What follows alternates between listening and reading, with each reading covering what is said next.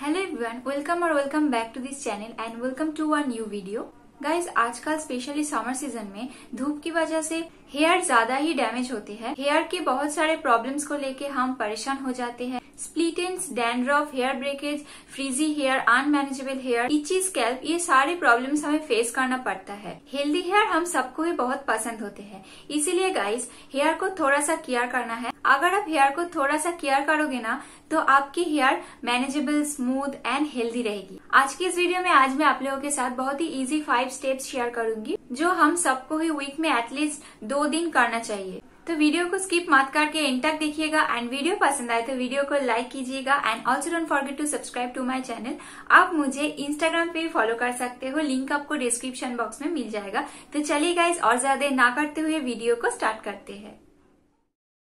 Guys week में दो से तीन दिन बालों में ऑयल अप्लाई करना चाहिए। मैं नहाने के पहले अप्लाई करती हूँ, एक घंटे के लिए रखती हूँ एंड उसके बाद शैम्पू कंडीशनर की मदद से हेयर को वॉश कर लेती हूँ। ऑयलिंग के लिए मैं कोकोनट ऑयल यूज़ कर रही हूँ। सबसे पहले एक बाउल में कोकोनट ऑयल को ले रही हूँ। यह है गुड वाइब्स की cold pressed coconut oil cold pressed coconut oil के अंदर है विटामिन एंड बहुत सारा न्यूट्रिएंट्स जो बालों को स्ट्रॉन्ग करते हैं एंड स्कैल्प को नारिश करते हैं। उसमें ऐड कर रही हूँ कैस्टर ऑयल ये हेयर ग्रोथ को प्रमोट करेगी। कैस्टर ऑयल के लिए मैं यूज़ कर रही हूँ एरोमा मैजिक की कैस्टर ऑयल आप कोई भी कैस्टर ऑयल यूज़ कर सकते हैं। दोनों ऑयल को हम थोड़ा सा गर्म कर लेंगे डबल बॉइलिंग प्रोसेस में। ऑयल को ज़्यादा गर्म नहीं करना है ल्यू कम होना चाहिए। एक बड़ा सा बर्तन में पानी को गर्म कर लेना है एंड उसकी मदद से आप ऑयल को गर्म कर सकते हो। तो हमारी ऑयल रेडी हो चुकी है अप्लाई करने के लिए। ऑयल अप्लाई करने के पहले अच्छे से टेंगल्स को रिमूव करना है। ऑयल अप्लाई करने के टाइम बालों में टेंगल्स नहीं रहना चाहिए। इससे हेयर फॉल हो सकती है। बालों से सारे टेंगल्स को मैं रिमूव कर लिया है। उसके बाद सबसे पहले मैं स्कैल्प में ऑयल अप्लाई करूँगी।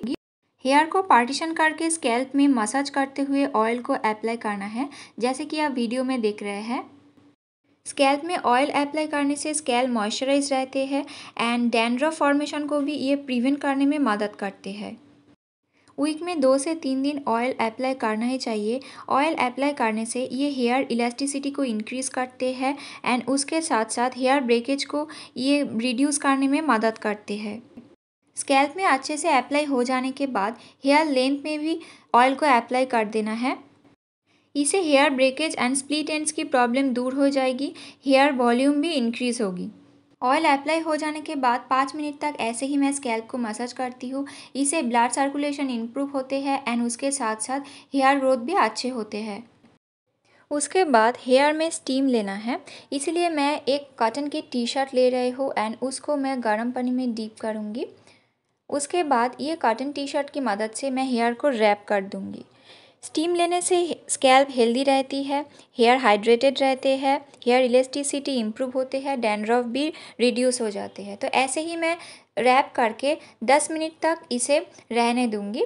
उसके बाद मैं एक घंटे के लिए छोड़ दूँगी एंड शैम्पू कंडीशनर की मदद से हेयर को वॉश करूँगी।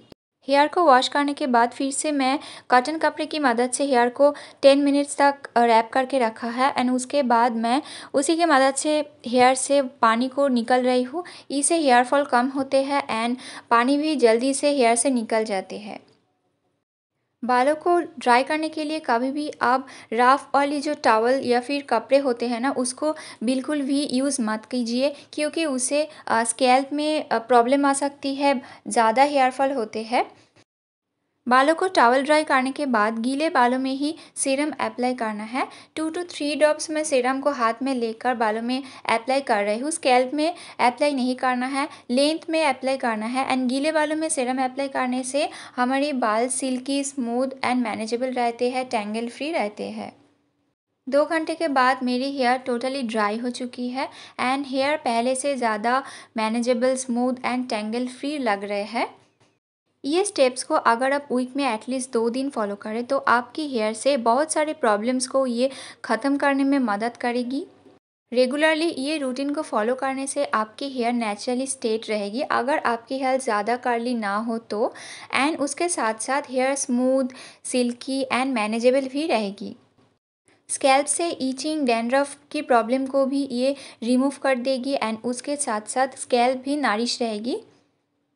तो ये थी गाइज़ मेरी आज की वीडियो आई थिंक ये वीडियो आपको अच्छा लगा है.